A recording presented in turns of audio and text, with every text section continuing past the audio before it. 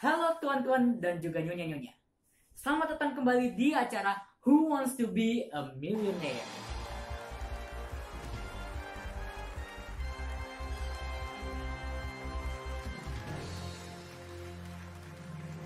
Who Wants to Be a Millionaire? Sebuah acara di mana para peserta menjawab berbagai macam pertanyaan untuk mendapatkan ratusan juta rupiah. Gimana? Salah kayaknya salah. Hah? Salah. Salah. Terus ini acara apaan dong?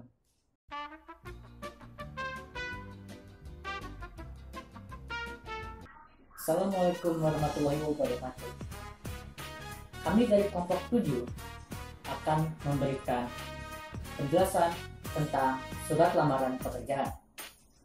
Mulai dari isi sampai sistematika surat lamaran pekerjaan. Sebelumnya kami akan memperkenalkan diri kami masing-masing.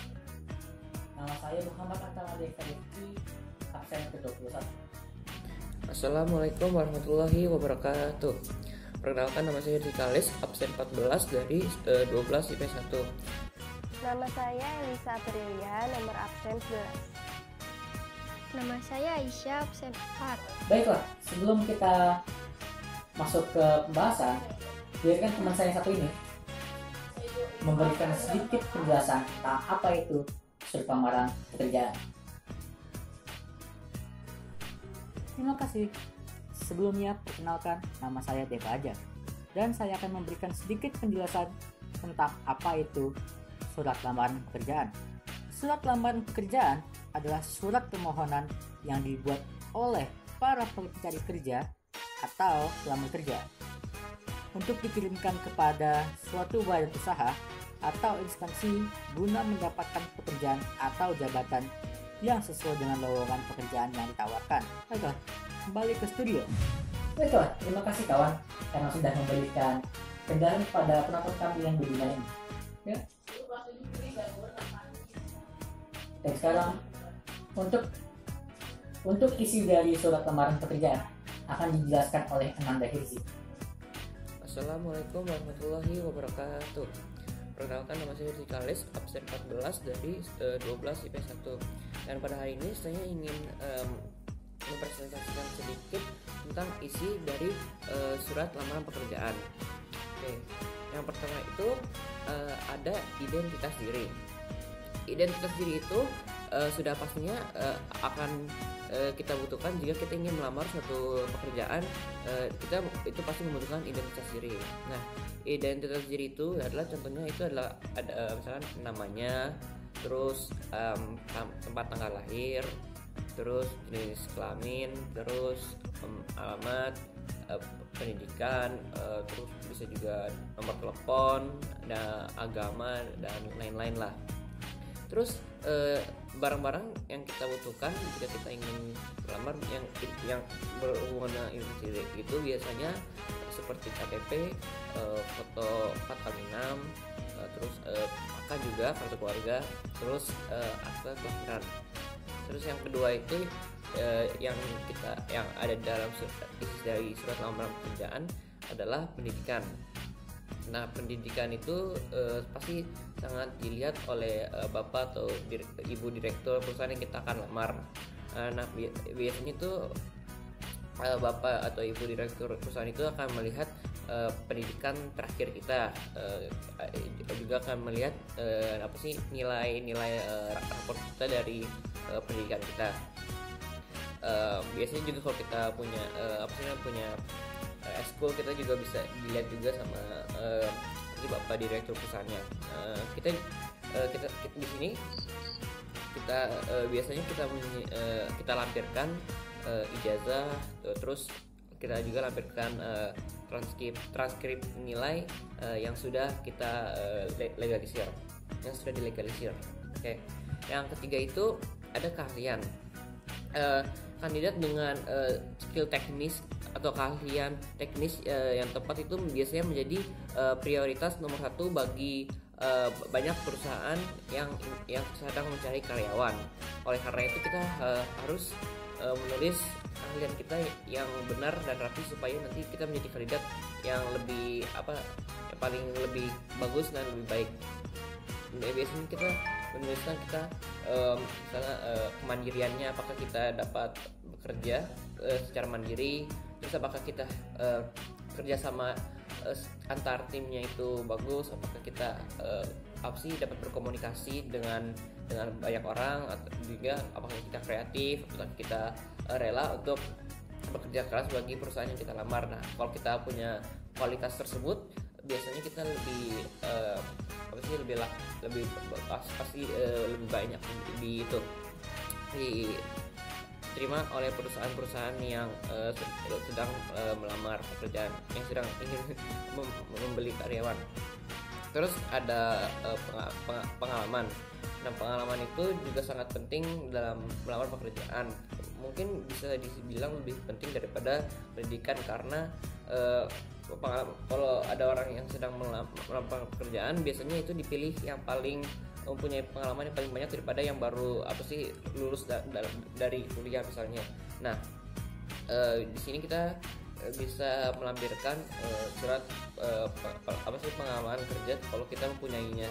Kalau nggak punya bisa nggak apa juga sih masih bisa masih bisa aja apa ngelamar kita misalnya pengal- pengalaman bekerja di mana aja nggak usah yang berhubungan dengan apa namanya dengan pekerjaan yang kita sedang mau lamar. Yang penting kita ada penga- pengalaman bekerja dalam sesuatu. Nah segitu segitu aja sih. Apa sih namanya presentasi saya? Eh, terima kasih sudah mendengar. Wassalamualaikum warahmatullahi wabarakatuh. Terima kasih Hirzi atas penjelasannya tentang apa saja isi dari surat lamaran pekerjaan. Dan sekarang untuk bagian sistematika surat lamaran pekerjaan akan dijelaskan oleh Aisyah dan juga Elisa. Penulisan tempat dan tanggal surat biasanya diletakkan di pojok kanan atas dan eh, tidak diakhiri dengan tanda titik. Kenapa? Karena yang di akhir itu merupakan sebuah merupakan tahun dan tahun tidak ditulis dengan huruf melainkan angka. Oleh karena itu, tidak menggunakan tanda titik.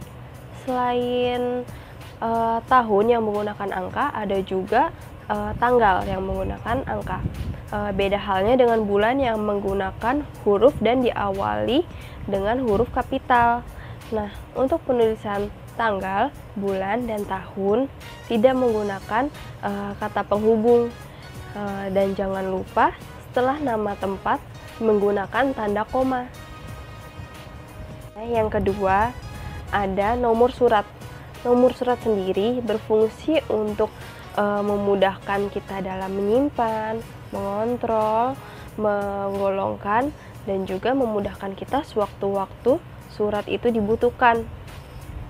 Eh, dan juga eh, kita isi dengan jumlah lampiran yang kita inginkan. Misalnya, kita akan melampirkan tiga lembar. Kita tulis tiga lembar, tapi penulisan tiga tidak boleh menggunakan angka, melainkan menggunakan huruf. Sebaiknya alamat tujuan diawali dengan YTH titik dengan huruf Y kapital. Untuk penyebutan nama pimpinan sebaiknya tidak menyebutkan jenis kelaminnya seperti bapak atau ibu. Untuk penulisan jalan eh, sebaiknya jangan disingkat ya seperti JL atau JLN. Harus ditulis dengan benar yaitu jalan. Untuk di akhir alamat tujuan juga tidak boleh menggunakan tanda titik ya. Nama saya Aisyah, absen 4. Kemudian ada alinea pembuka. Pada alinea pembuka biasakan menggunakan kata yang baik dan sopan. Alinea pembuka biasanya berasal dari iklan, eh, pemberitahuan seseorang, iklan resmi, atau bisa dari inisiatif sendiri. Misal berdasarkan dari iklan, maka harus menyebutkan tanggal dan juga sumber media iklan tersebut keluar. Lalu pada sistematika isi terdiri dari eh, identitas pelamar, maksud dan tujuan, dan juga lampiran yang dibutuhkan. Kemudian pada sistematika penutup yang harus diperhatikan adalah bagian kata sapaan. Sapaan yang digunakan sebaiknya adalah tidak menggunakan kata ganti orang ketiga yaitunya, tapi yang digunakan adalah kata bapak atau ibu. Atas perhatian bapak atau ibu, saya mengucapkan terima kasih. Titik. Pada salam penutup, penulisan kata hormat saya diawali dengan huruf kapital, kemudian huruf kecil, dan diakhiri dengan tanda baca koma. Sistematika yang terakhir ada tanda tangan dan nama terang pelamar. Pada bagian ini, nama pelamar ditulis sesuai dengan identitas yang ada pada pelamar. Baik, dan sudah selesai penjelasan mengenai surat lamaran pekerjaan dari kelompok kami. Mohon maaf jika ada kesalahan, karena sebetulnya kebenaran hanya milik Tuhan Yang Maha Esa. Ya, terima kasih atas perhatian teman-teman semua. Assalamualaikum warahmatullahi wabarakatuh.